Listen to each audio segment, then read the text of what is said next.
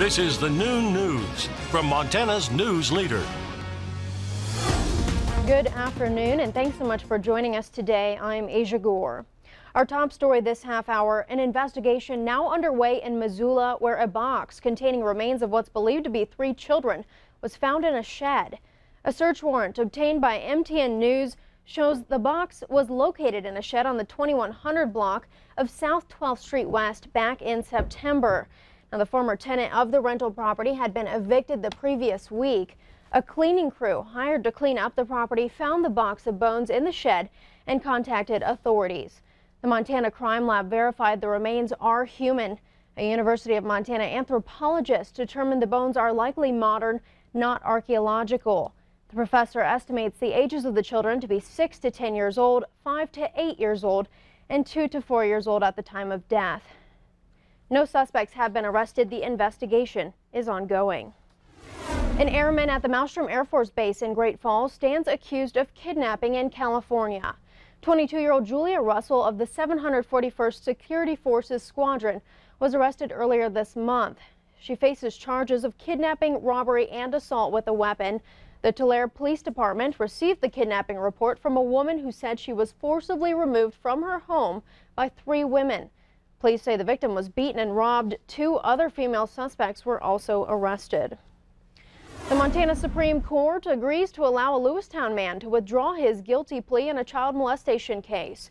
Jason Terranez was charged in 2015 after he allegedly molested a five-year-old girl. The Montana Supreme Court finds that the victim's parents had inappropriate contact with jurors during his trial, and the family also intimidated defense attorney Jeffrey Foster. The parents were removed from the courtroom and could only observe the trial electronically. During the trial, Terranez pleaded guilty to a lesser charge. The defense attorney returned to his hotel that night after the hearing and killed himself.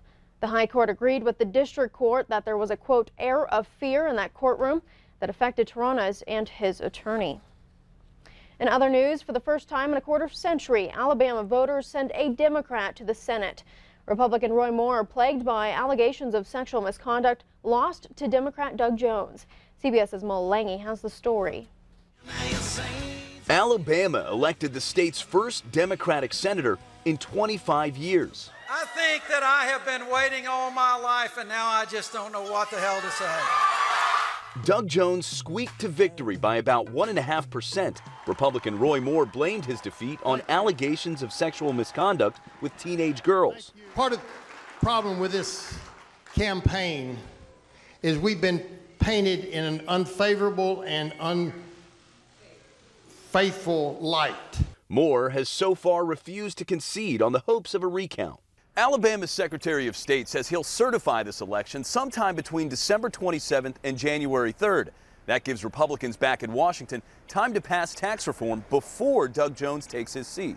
President Trump won Alabama by nearly 30 points, but his endorsement failed to give Moore the boost he needed, and even the state's other Republican senator withheld his support. I'll tell you, uh, didn't vote for him.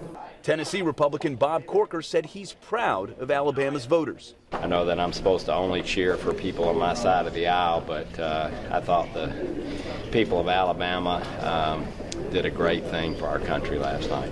The Alabama results bring the Senate's Republican majority to a razor thin 51 to 49 going into next year's midterm elections. That will make it even harder for President Trump to push his agenda through Congress.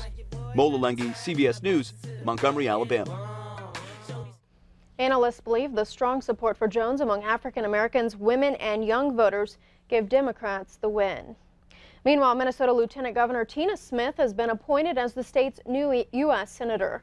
Minnesota Governor Mark Dayton made that announcement today that Smith will replace Senator Al Franken, who is resigning amid sexual misconduct allegations. Smith, a Democrat, will serve until January 2019. She also plans to run in a special election next year to serve out the entirety of Franken's term, which ends in 2020. Legislation named for a Billings veteran suffering from toxic exposure during his service is now law. Part of that bill signed Tuesday by President Trump is an act introduced in part by Senator Jon Tester. The Gary Deloney and John Olson Toxic, Toxic Exposure Declassification Act will have a big impact on veterans exposed to toxic substances while serving in the military. John Olson is a Billings resident who participated in a program called Project Shad in the mid 1960s. His military records during the time he worked on naval vessels are classified. Olson has fought cancer four times but has never been able to receive VA health care because his records are classified. The bill was included in the 2018 National Defense Authorization Act, a $700 billion bill that funds the military. An 18-year-old Bighorn County man died this morning when he was struck by a car after he was ejected from his own vehicle in a rollover crash. The incident was reported around 5 a.m. on Interstate 90 near the East Hardin interchange. The Montana Highway Patrol reports the man was ejected after he rolled the Ford Taurus he was driving. Outside the car, the man was struck by another vehicle. The crash happened on the Crow Indian Reservation, so the Bureau of Indian Affairs is investigating.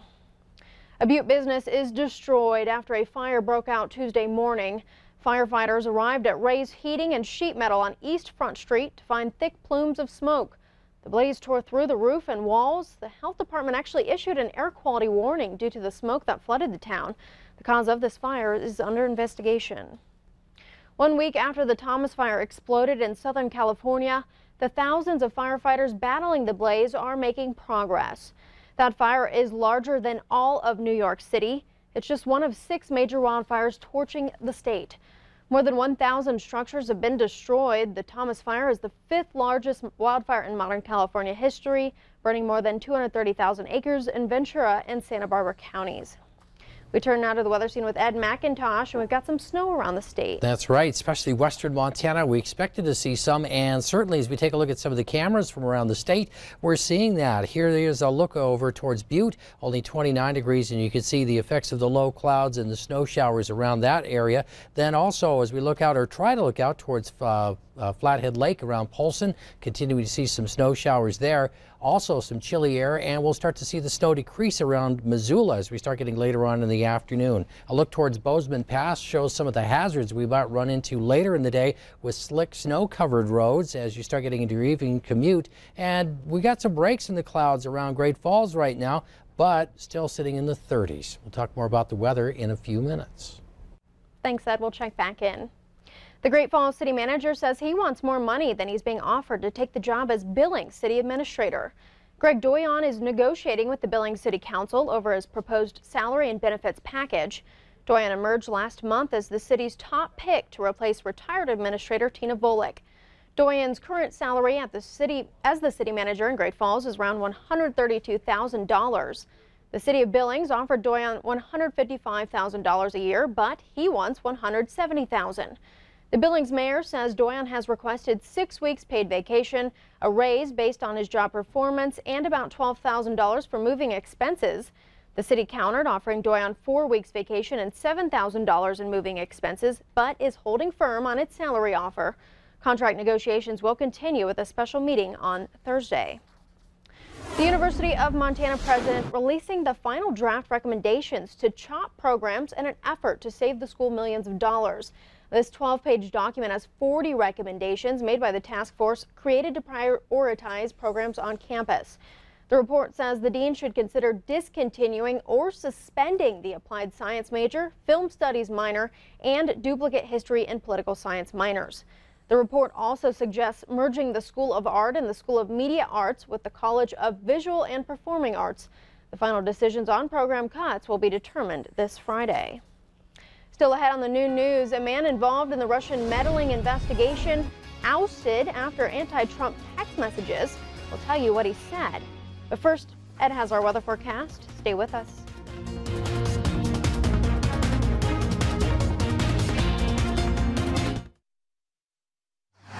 You're watching MTN News with Aja Goare.